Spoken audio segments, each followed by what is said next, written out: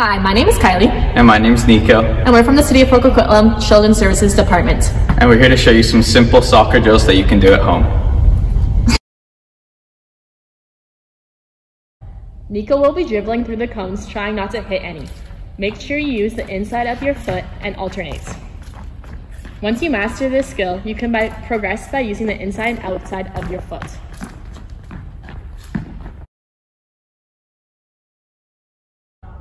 Nico will be passing the ball to the wall or a partner if you have one. Remember to keep your social distance.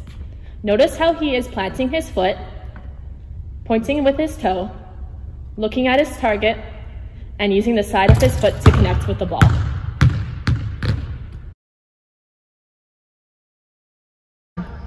Now Nico will be shooting the ball at the net or target that he found at home. Notice how he plants his foot, looks up at the target, and strikes the ball with his laces.